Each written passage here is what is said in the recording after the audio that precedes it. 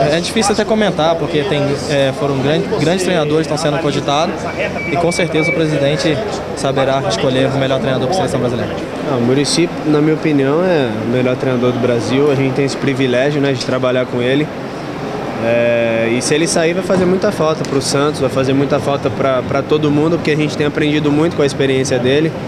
E, mas isso aí também vai ser o melhor para ele. Seleção brasileira é o sonho também, creio que é sonho de, de, do treinador, que já conquistou tudo nos clubes, então seria a possibilidade também de ele vencer uma, uma Copa do Mundo, uma Copa das Confederações. Mas vamos torcer para ficar, mas se for melhor para ele, como eu disse, desejar boa sorte.